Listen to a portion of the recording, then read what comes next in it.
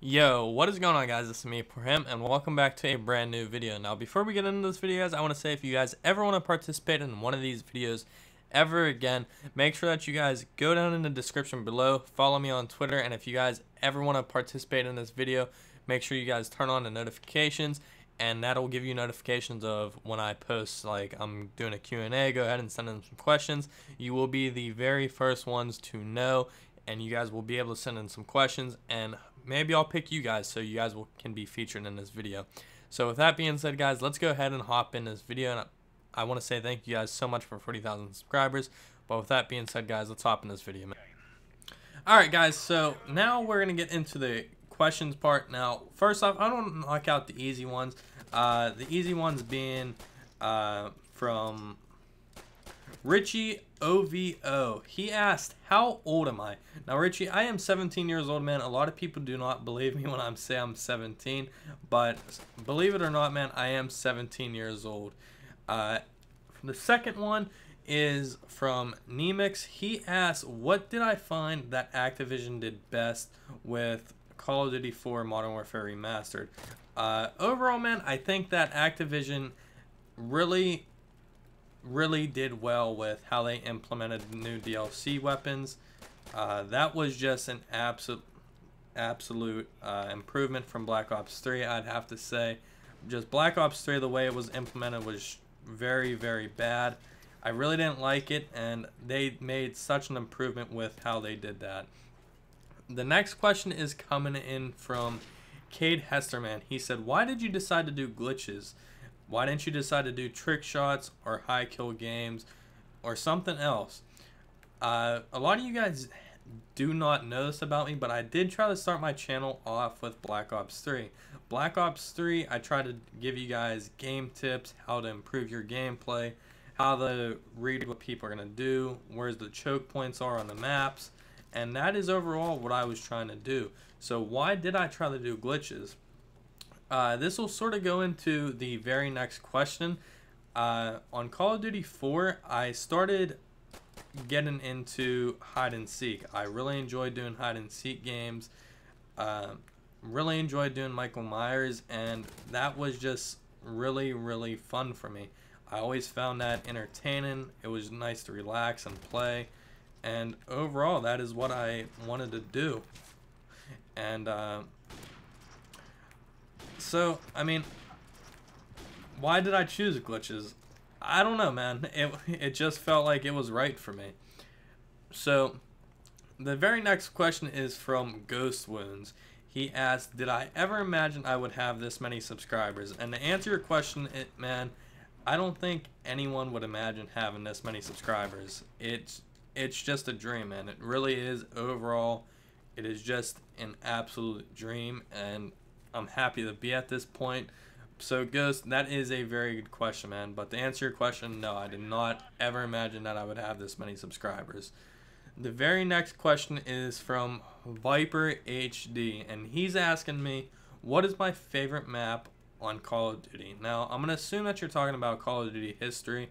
Uh, if not, man, I apologize, but my favorite map overall is is going to have to be Afghan. I'm going to have to say Afghan just because that is the very, very first map that I ever got my nuke on, on MW2. And I got that by noob tubing, and that was also with One Man Army. So call me a noob if you want, but that is how I did it, and no one's taking that away from me. And the very, very last question, or no, I got one more question after this. Uh, the next question is from Bloody Jack 4011. And the only reason why I said I got one more question after this is because this question is very, very good. This is probably the best one that I've received. And he asked me, when did I start playing Call of Duty? So that is going to go into why did I start doing glitches, sort of. And uh, when did I start playing Call of Duty? That was in Call of Duty 4. I started playing like hide and seek, but uh, I want to say Call of Duty 4 was not the newest Call of Duty that was out. I want to say World at War was out when I started playing, but my first Call of Duty that I probably ever played was Call of Duty 4. Uh, the very last question, though, is this is sort of a two part question. And Adam Riley asked me, Who is your biggest inspiration in YouTube?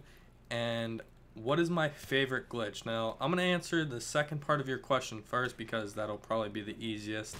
Um, my favorite glitch is probably going to have to go back to Call of Duty 4, the original, and it would have to be the elevators on Bloc. Uh, the elevators on Bloc were really fun, and not many people knew how to do elevator glitches, so that is why I'm saying elevator glitches overall. And Bloc would have to take it because uh, there was a ton of elevator glitches that not many people knew about, and that is just what I did. And the final question that he asked was, who was my biggest inspiration on YouTube? Uh, this is very, very easy to answer. Uh, my biggest inspiration on YouTube is White Boy 7th Street. He's still playing Battlefield. Uh, he is my biggest inspiration because of what happened with my mom and how she passed away.